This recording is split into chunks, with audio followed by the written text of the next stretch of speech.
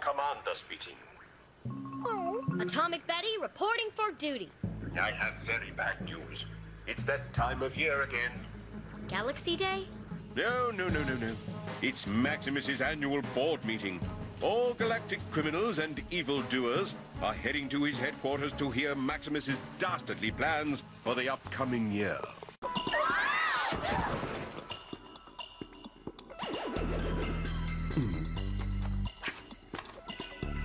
Hello, ladies, and, um, chicken.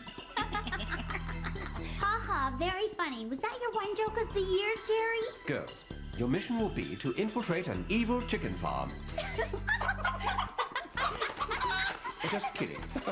Actually, a number of people have been disappearing. Emilio's Patience Duckwell. How dare the traitor bungle a simple robbery? It was the Wildcats, Lord Hellspawn. We cannot make a move against Halo Enterprises with obtain the lens elsewhere. No! Only Halo makes the X-ray lens I need to find the orb. My name's Avery Ant, and I'm gonna rant like no other ant. Yes, sir, I'm one PO'd pismire, and I'd love to get into it with you, but I only got one minute of airtime. I don't have a big flashy set, but that's not my fault. I wanted a set, and what did I get? A big hand holding a stopwatch. I got it! I got it! I got it!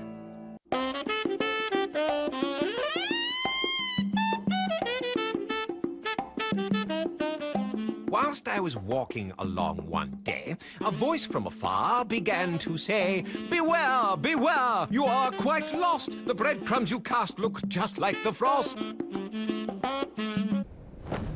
Worms? No. A crop of mushrooms?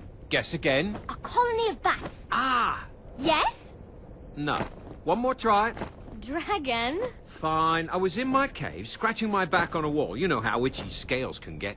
Not personally, no. Oh, yes. Oh, oh, oh, left a bit. Oh, oh, oh, oh. So, there I was, scratching against the rock, and kaboom!